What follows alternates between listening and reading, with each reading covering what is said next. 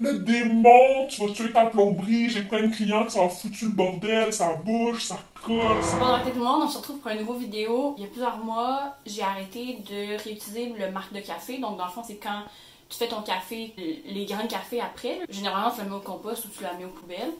Ça s'appelle du marque. Il paraîtrait que ça se dit mar ou mar, mais il n'y en a pas question. Je trouve ça très laid, donc euh, moi appris ça du marque et mal le dire, c'est correct, je m'assume. C'est ça, donc avant je, je réutilisais pour l'exfoliant pour le corps, mais on fournissait pas. En fait, je fournissais pas, ma peau serait morte si on avait utilisé toute le marque.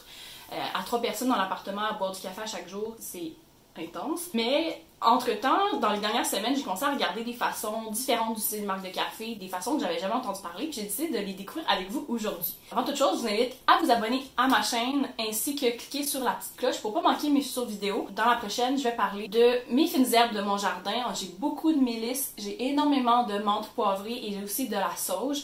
Donc, je trouve des façons de les utiliser autres que les congeler dans des petits cubes de glace parce que c'est bien cute, mais il faut trouver d'autres façons à utiliser ça à la quantité que j'ai. Je compte aussi faire une vidéo prochainement sur les sites d'astuces zéro gaspillage que j'utilise. Tu vas être sûr de ne pas les manquer. Je t'invite à vraiment cliquer sur la petite cloche pour que tu te fasses avertir. En fait, vous remarquerez que c'est la première fois que, que je filme sur mon lit. J'avais une belle nata sur ma chaise de bureau et j'ai pas osé la déplacer. Et là, en plus, entre-temps, le temps que je mette ma caméra et que je m'installe, il y a le beau petit capucin qui, est venu avec moi, qui ronronne très fort.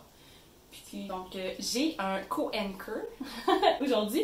Techniquement, je vous donne plusieurs astuces. Je vais en tester 3-4 aujourd'hui. Avant de commencer, s'il y a certaines informations qui vous intéressent plus que d'autres, vous allez voir que en bas de vidéo, là, tu peux euh, aller directement d'une recette à l'autre. Donc, je t'invite à consulter les différentes sections si tu veux sauter à la prochaine chose même si je vais juste tester trois trucs aujourd'hui, en fait, je vais te parler de mes trois coups de cœur et trois façons à ne pas utiliser le marque de café. C'est toujours le fun de commencer par le positif. La première chose, c'est que, en effet, le marque de café, en fait, c'est que c'est bon exfoliant. Ça, c'est vrai. Tu peux, moi, je, l'ai longtemps utilisé straight de même. Ce que j'aime beaucoup du marque de café, c'est que le grain a du. Il y a un gras. C'est assez grand du marque de café, si vous avez déjà remarqué, ou du café point. Donc, moi, ce que j'aime beaucoup, c'est l'hiver jusqu'à l'année dernière, j'étais pas quelqu'un avec la peau très sèche. Ça a changé récemment, je sais pas pourquoi. Mais tout ça pour dire qu'il y a quand même des périodes dans l'année où euh, la peau commence à trouver ça un peu. Donc je me mettais à une fois par semaine à m'exfolier avec le café. Et de un, ben, c'est toujours bien de s'exfolier de temps en temps, mais c'est aussi le gras du café hydrater ma peau, puis pour vrai, ça m'a sauvé pendant deux hivers de suite, ça a été parfait, j'avais rien besoin de mettre de plus. Bon, là, c'est plus le cas. C'est même rendu que l'été, je dois me mettre de la crème. Si la vie, c'est pas grave. Mais ça reste que c'est une bonne astuce. C'est pas pour rien qu'on voit autant de recettes. Quand tu cherches des recettes de café, immanquablement, c'est des exfoliants. Tu peux rajouter du sel, tu peux rajouter euh, de la cannelle si tu le mets pas sur ton visage, tu peux rajouter du miel. Il y en a qui mangent à du yogourt. Moi, pendant longtemps, je le mélangeais juste avec un petit peu d'huile pour donner une pâte euh, assez que c'est utilisable. Le gros problème avec le marque de café, c'est salissant comme ça, pas de bon sens. J'ai pas réussi à trouver de bonne façon. À date, la seule manière que j'ai réussi à utiliser du café dans la douche sans passer 20 minutes après à comme bien filtrer et à bien nettoyer pour pas que mes colocs après se retrouvent à comme marcher sur du sable genre. C'est la barre comme une petite abeille de lush que c'est une barre hydratante avec dans le fond il y a vraiment un centimètre de café. Ce que j'ai vu beaucoup, mais ça je ne le testerai pas, ça ne m'intéresse pas, juste l'idée, c'est de d'en mettre dans ton fond de tête pour exfolier. Justement, si mettons tu as euh, des pellicules, si tu as un fond de tête sec, etc. Je vois en quoi ça pourrait aider. On a tout été à la plage, on a tout eu du sable dans le fond de la tête avant que je me mette à essayer d'enlever euh, du café. J'ai déjà fait l'erreur en faisant un masque d'avoine, des motons d'avoine dans tes cheveux, c'est de la job. Maintenant, moi, je me fais un lait d'avoine, puis c'est ça que je mets, c'est beaucoup plus facile. J'étais en train de dévier.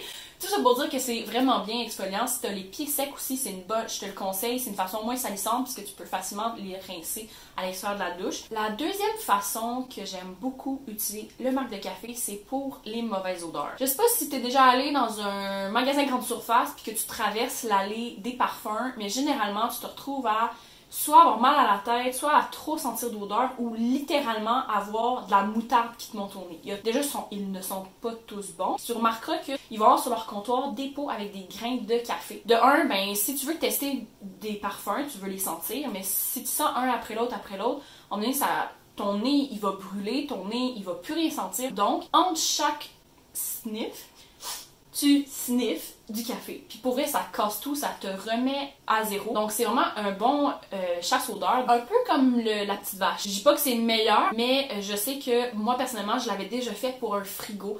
Notre frigo, en donné, j'avais beau l'avoir lavé, on dirait que le plastique il gardait une odeur. Tu sais, des fois euh, les légumes, je les emballe mal, donc ça sentait comme le vieil oignon. Je me disais du marque de café, c'est déjà utilisé, c'est pas gaspillé, tandis que pour moi personnellement, de mettre du bicarbonate de soude dans ton frigo, ben moi c'était du gaspillage. Je sais que c'en est pas, mais pour moi, le bicarbonate de soude, c'est comme la base dans mon ménage, donc je trouvais ça dommage de juste le perdre à juste absorber des odeurs. Donc le café, c'est vraiment génial. Tu pourrais le mettre ton marque dans des sachets de thé, puis les mettre dans tes souliers qui, sentent moins bon. La troisième chose, pour le jardin, si tu as un sol qui a besoin d'acidité, ça devient un bon engrais. Il y a des mélanges qui existent en ligne, tu peux regarder selon ce que ton sol y manque, selon ce qu'il y a de besoin. Bon, particulièrement pour les légumes racines, c'est très bon. Peut-être je me trompe s'il y a des fanatiques de jardinage qui me regardent, qui m'écoutent, lancez-moi pas de rush. Mais je suis tombée quand même sur trois différents sites qui en parlaient. La raison pour laquelle c'est particulièrement conseillé pour les légumes racines, dans le cas, puis ils nommaient à chaque fois spécifiquement les carottes et les radis. Donc, il y a comme un agent. Attends, j'ai-tu écrit? Non, je l'ai pas écrit, bien sûr. Il y a un agent dans le café qui retarde la croissance. Donc, euh, pour beaucoup de monde, ça serait comme euh, non. Tu moi, par, personnellement, mon jardin, il va pas full fort, donc euh, de me faire dire que le café va retarder, euh, je suis comme, ah, c'est pour ça que tout va lentement, parce que j'ai dumpé 6 tasses de café il y a deux mois. Non, c'est pas ça. En fait, l'idée, c'est que, particulièrement les carottes et les radis, de ce que j'en ai compris, euh, quand tu en fais pousser comme chez toi de même, ben, souvent tu te retrouves avec des radis ou des carottes difformes qui poussent mal, qui poussent tout croche. Puis là, avec le fait que tu mets du café directement quand tu fais ton tes semis, puis après quand tu le plantes, t'en mets pas beaucoup, mais t'en mets comme directement dans la terre, pas juste sur le dessus, c'est que ça aiderait à ralentir le processus de, croissance de ta plante et donc ça aiderait à ce que le légume soit plus uniforme, puis pousse plus long, plus plus, qu'il soit, soit meilleur. Ce qui nous amène aux trois façons La première, et j'ai fait l'erreur, et je suis sûre que vous êtes plusieurs à faire l'erreur, et c'est de mettre ton marque dans ta tuyauterie.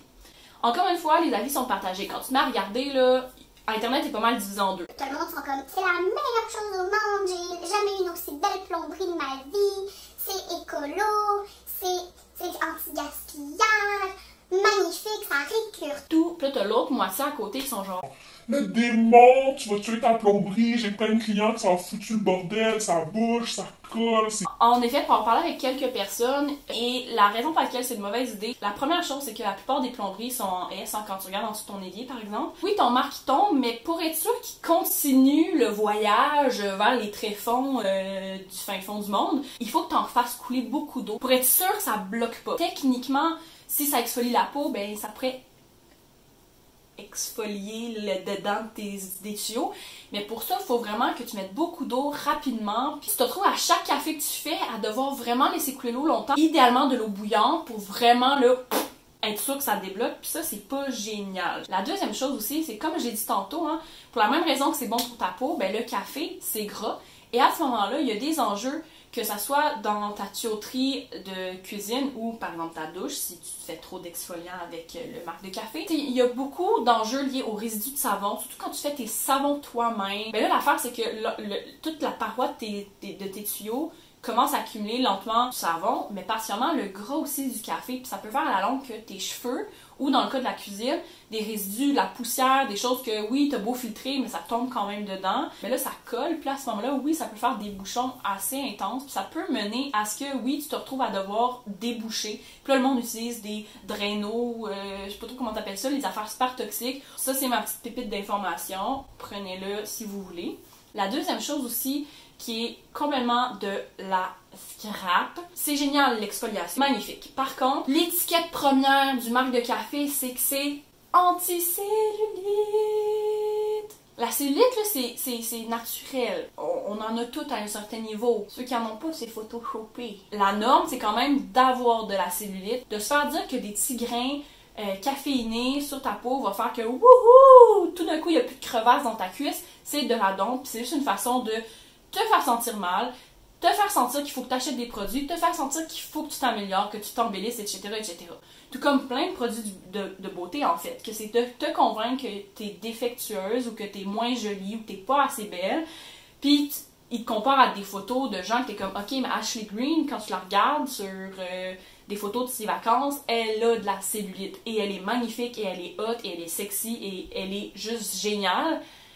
Avec ou sans cellulite, on s'en fout. Donc, rendu là, c'est bon que ça soit exfoliant, mais on doit arrêter de se dire que parce que, oui, la caféine, c'est censé aider pour justement la circulation sanguine, euh, c'est censé aider pour tonifier la peau, ça réveille, hein, ça, donne un peu de teint, etc. C'est pas non plus un produit miraculeux. Je suis pas en train de te dire que t'as pas le droit de t'exfolier en espérant la magie, mais d'un, attends-toi pas à la magie, puis de deux, commence pas à acheter les foutues crèmes ou carrément, il, ça, se vend des exfoliants de café, tu regardes les ingrédients, puis c'est du café, peut-être du sucre ou du sel, puis de la glycérine. Puis de vendre ça comme 34,99. T'es comme OK, donc moi, euh, je me ferais 4 cafés puis j'aurais ça, là. Wow. Le troisième truc à ne pas faire. Une astuce qu'on voit beaucoup, c'est que le café, ça serait une odeur que les chats n'aimeraient pas. Et moi, j'ai un jardin avec... Euh, on a une attaque qui sort toute la journée, non supervisée, libre de ses mouvements, libre de ses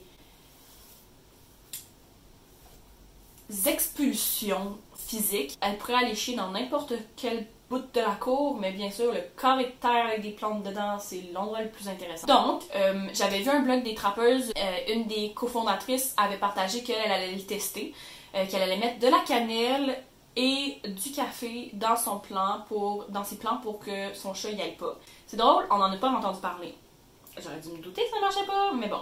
Donc, j'avais gardé comme facilement plusieurs semaines de, euh, de marque de café. L'affaire, c'est qu'il faut que tu t'assures que ça sèche bien. Donc là, j'avais étalé ça sur des plaques ici et ça. Puis là, j'ai aspergé ça dans mon jardin. Nata allait dans mon jardin juste pour faire ses besoins. La demi-heure que j'ai mis du café, elle s'est plantée en plein milieu, puis elle est allée chiller là. Elle avait jamais fait ça de sa vie. Elle a trois spots dans la cour qu'elle adore, puis ça n'a jamais été en plein milieu du terrain, dans la terre, bâtard, à juste regarder autour. Ben, la journée que j'ai mis du marque, est rentrée dedans. Puis elle est restée là, puis elle était super confortable. Donc, côté odeur, on repassera. Tout ça pour dire que c'est pas nécessairement, je suis pas en train de dire que c'est un mauvais truc, mais du moins, moi, Nata, ça passe pas. Laissez-moi savoir si vous, vous avez testé, si ça a marché, s'il y a d'autres façons de le tester, est-ce qu'il fallait, je, sais pas. J'avais même testé à moitié de l'arroser, puis l'autre moitié je l'avais pas arrosé pour voir si sec versus mouillé ça changeait quelque chose. Mais tu sais, à il faut que tu les arroses tes foutues plantes, donc j'avais dû les arroser tout au complet anyway. Non, la dernière recette, en fait, je l'ai déjà faite. Je m'excuse, mais j'étais vraiment énervée, puis puis techniquement, c'est pas du marque de café, c'est du café point, mais je trouvais ça quand même vraiment cool. C'est encore une fois sur le blog des trappeuses, il parlait des macérats huileux que tu peux faire pour extraire les, bénéfices d'une plante et il listait les types de produits et là je voyais qu'il parlait de macérat de café. Puis je suis allée regarder puis c'est là que j'ai découvert en fait la raison pour laquelle le café est autant populaire, c'est que justement il y a tout un aspect de tonifier la peau, c'est censé euh, aider la circulation. En fait, j'avais mon sérum de Ordinary qui s'est terminé, donc j'avais le flacon, je l'ai lavé, je l'ai fait sécher. Et dans le fond, j'ai fait un macérat huileux de café. Moi, je l'ai fait de la façon chaude. Tu prends une bonne huile pour la peau, tu couvres ton ingrédient, dans ce cas c'est du café, euh, broyé tu le couvres d'huile, à peu près un pouce de plus que, ce que tu as. Tu le mets dans de l'eau, tu fais euh, bouillir, puis dès que ça commence à bouillir, tu baisses à feu très très doux, puis tu laisses macérer ça pendant un bon 3 à 4 heures. Et là, après, tu filtres, ça donne une huile très foncée. Après mon masque, je vais le mettre. On va aller tester ça tout de suite. Et je vais... à mes tests. Qu'est-ce que je connais pas qu'on peut faire? Et là, en cherchant en ligne, je suis tombée sur plusieurs astuces que je trouvais quand même assez drôles et intéressantes. Puis là, on va aller les tester. La première, en fait, c'est un exfoliant. Je m'excuse. Un des premiers produits que j'ai acheté c'est le caféinomane, qui est un masque pour le visage au café. Je me retenais d'en l'acheter en me disant comme franchement, t'essayes de faire de plus en plus tes trucs toi-même, fais ça. Là, vu qu'on maintenant une machine expresso, ça veut dire que le marque est beaucoup plus fin. J'ai trouvé plusieurs recettes de gens qui essayent de copier ou de simplifier la recette du masque chez Lush. Et donc, j'ai moins de stress à me le mettre sur le visage. Je vais le tester après ma nuit, puisque maintenant je travaille de nuit. Donc, je vais dormir de jour et quand je vais me réveiller, je vais me gâter avec un masque. En fait, il est 6h30 du soir. Je viens de me lever. J'ai mon masque. Ici, ça sent vraiment le cacao. Encore une fois, il y a des grelots. C'est parce qu'on a un petit capucin qui s'amuse en arrière. Donc, j'ai mis au frigo, donc ça va être super bon pour la peau. Ça va être super rafraîchissant. Donc, je vais me mettre ça, attendre 15 minutes, puis après le nettoyer.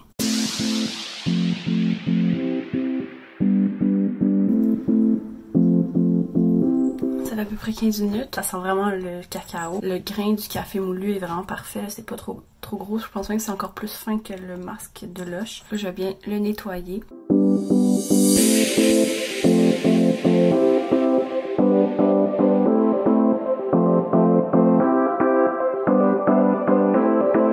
Ma peau est toute douce, mais ça fait du bien. Je me sens bien. Puis là, ce que je fais dans le fond, c'est que je prends mon genre d'huile au café. La deuxième affaire, ça c'est vraiment cool, c'est de faire une pâte à modeler à base de marque de café. Je suis tombée aussi sur de la pâte à fossile, mais de ce que je regarde en fait, c'est littéralement de la pâte à sel. Pour ceux qui connaissent pas ça, de la pâte à sel, c'est principalement de la farine et du sel avec de l'eau. Euh, puis c'est souvent utilisé dans les projets euh, pour jeunes enfants. C'est une façon super drôle de faire, par exemple, des pendentifs pour ton sapin. On les a encore chez mes parents, ceux qu'on a fait quand on était jeunes. Tu peux les peinturer après, c'est drôle, c'est rarement beau, mais c'est comique. C'est comme de la pâte à modeler, mais qui reste à vie après. Je regarde les ratios, puis c'est presque les mêmes. Je vais juste faire la même et tester de la faire sécher. Ok, donc euh, ça c'est la fameuse pâte à fossile, mettons. Je sais pas si vous voyez là, mais en fait c'est clair que vous voyez le foncé, ce qui est les deux plus gros morceaux, ce qui est quand même logique. Ce qui l'est moins par contre, c'est que là on est vendredi matin. J'ai fait le vidéo de la pâte, ben de la pâte à sel à fossile lundi après-midi et la personne disait que c'était maximum 48 heures. Alors il y a un problème. Vous voyez, c'est pas super épais, donc il n'y a pas vraiment de raison que ça soit autant euh, mou. Et ben, c'est sans aucune difficulté que, oups, pas impressionné pour faire la comparaison. On a ici les petits, puis même là, ça casse tout de suite. Puis ben, oups, c'est vraiment, ça s'effrite super facilement. Ce qui est pas étonnant en soi, mais pour avoir fait de la pâte à sel, hein, ça sèche pour vrai. Si en plus on avait fait comme les vrais fossiles, donc eux, ce qu'ils faisaient, c'était vraiment comme une boule. Tu sais, mettons comme, mettons ça, là. T'avais vraiment une boule de pâte, puis t'écrasais un objet pour faire une empreinte. Imagine, ça, ça aurait jamais séché. Le point cool que je trouve, c'est que malgré moi, je trouve ça vraiment magnifique. Je vais essayer de trouver un endroit avec du soleil. Bon, j'ai mis du sel partout sur mon sel. Je trouve ça vraiment beau. C'est brillant, c'est joli. C'est le sel, en fait, là. Mais il s'égrène aussi. OK. Allô, mes petites jambes. Tu sais, on frotte, là, puis ça se défait super. Oh my god. Bon, regarde, fois, je viens de le briser. Donc, je le conseillerais pas.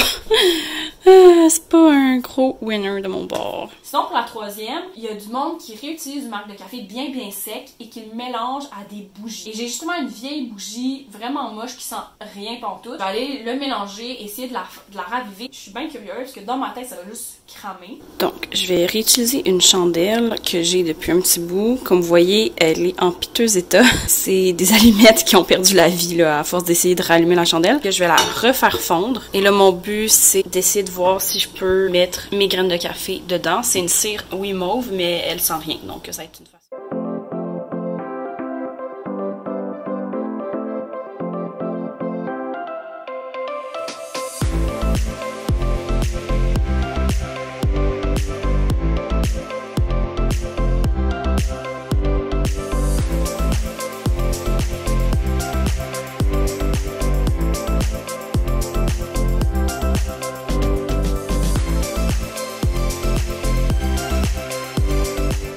Donc, ça part mal. Ma bougie, elle fait vraiment dur, by the way. Je l'ai un peu nettoyée, mais euh, ça sent rien. Désolée si je parle pas fort, mais il y en a un qui levé encore. Euh.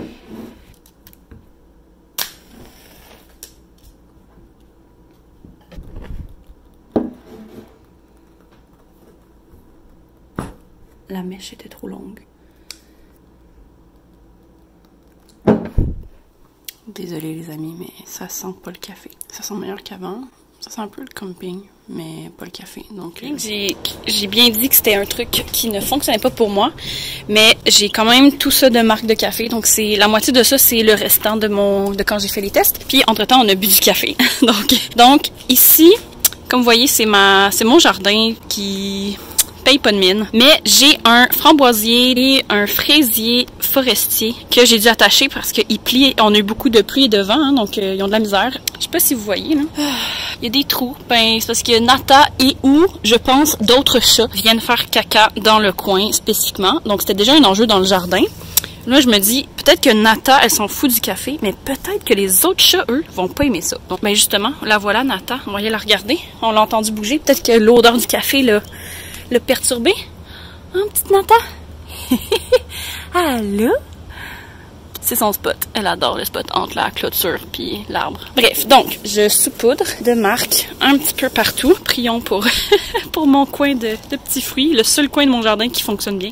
Donc, ça va être ça pour aujourd'hui. Laissez-moi savoir en commentaire s'il y a d'autres façons de passer du café de manière efficace. Et sinon, moi, je vous invite vraiment à suivre ma chaîne. Sinon, vous pouvez toujours me suivre sur Facebook et Instagram au même nom. Je parle toujours de mes vidéos la journée qui sortent. Donc, au plaisir de vous voir et à la prochaine!